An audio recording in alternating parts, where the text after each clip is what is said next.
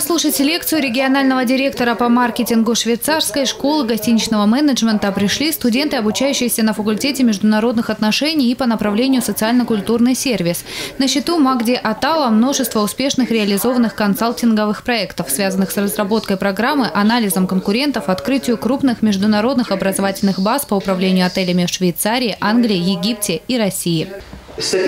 Я знаю, все все хотите стать управленцами уже завтра. Статистика показывает, боссами не становятся в 20 лет, нужно набраться опыта. Ну и в 60 уже поздно. Но самое главное, уметь подавать себя, быть готовым к международной карьере и придумать что-то уникальное, свежее. И чтобы этим заинтересовались все. Это большая наука, познавать которую вы будете только прилагая огромные усилия в работе.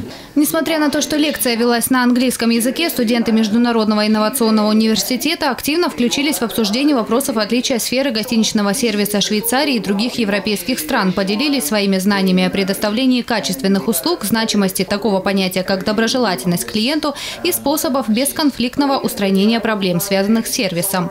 В завершении лекции студенты задали вопросу швейцарскому профессору. Будущие менеджеры интересовались основными составляющими успеха руководителей в сфере туризма, значимости владения языками и личным досье Магди Атала.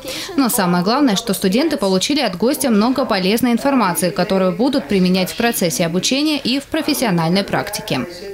Татьяна Говоркова, Николай Тихонов, телекомпания «ФКТ».